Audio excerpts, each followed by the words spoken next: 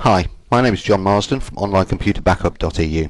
Today I'm going to take a look at Carbonite, the online uh, computer data backup application. From my experience, Carbonite is one of the simplest online backup applications to set up and is by far the easiest to operate, even though it has loads of features. So let's take a look so you can see for yourself. Either click on the Start Your Free Trial button, or if you're ready to subscribe, click on the Buy Now tab and you'll be taken to the account sign up page. Enter your email address and chosen password and then choose either a one year or a two year subscription. You save $9.55 by opting for a two year subscription. Click continue and the application download will begin.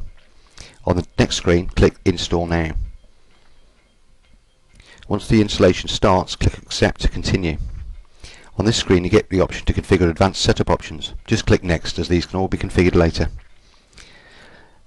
Here you get the option to let Carbonite select what you back up or to choose manually to configure the backup set later. I prefer to select my own backup set as Carbonite sometimes chooses files from within document settings that I don't want to be backed up. Either way the selection can easily be changed later. Now you get a couple of screens that tell you a little bit about the Carbonite app. Just click next. Right, now that we have Carbonite set up, let's take a closer look. Once the installation is complete, you'll see a little Carbonite icon down in the tray down here. Uh, if you double click that icon, you'll get uh, the uh, options screen come up. Now if you uh, selected to let Carbonite automatically select your files during the installation, you'll see that there's a progress bar here uh, telling you how far it's got with that initial backup.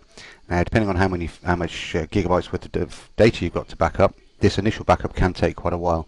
Uh, typically ADSL and other high-speed internet connections will back up between 2 and 3 gigabytes today so you just have to be a little bit patient.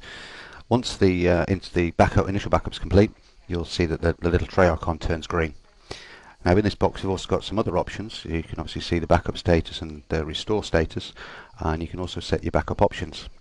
Uh, display coloured uh, status dots on any of my files or folders. This is quite handy. It basically within Windows Explorer any files or folders you've selected to be backed up you'll see once they're backed up and they're uh, up to date uh, the little dot will turn green otherwise it'll be orange. Uh, you can set the internet usage to low priority. This is handy if you're using uh, voice over IP applications like Skype etc because uh, sometimes it can interfere with that. So if you, if you do set it to low priority. Now if you're doing a major recovery it will uh, pays to put Carbonite into recovery mode. This basically stops any backups taking place otherwise you could find yourself going around in circles. You can also operate the, alter the backup schedule here.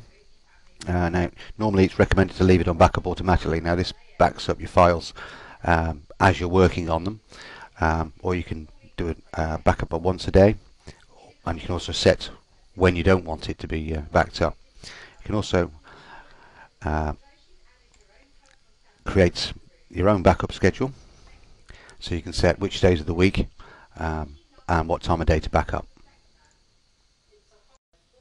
Now let's take a quick look at how we select uh, files and folders to be backed up.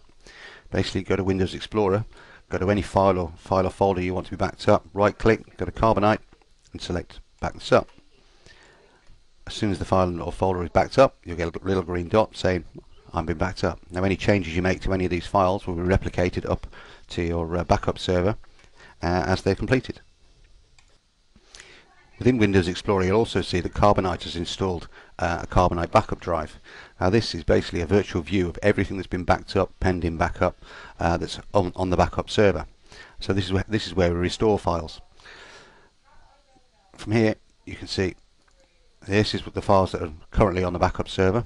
Now to restore a file or a folder uh, you simply again right click and you get some options. You can select restore, select restore to to uh, change the path where the file is going to be restored to. You can also select previous versions if you've got more than one version. Or you can simply drag and drop. File restored.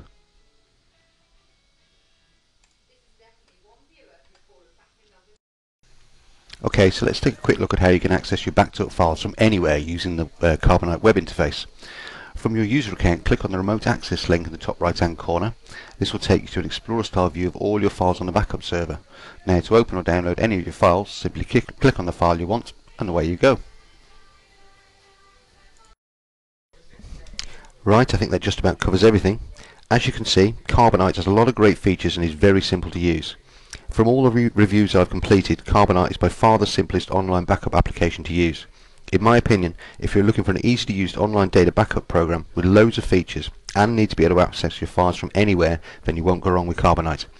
But you could also check out our other online computer backup reviews at www.onlinecomputerbackup.eu.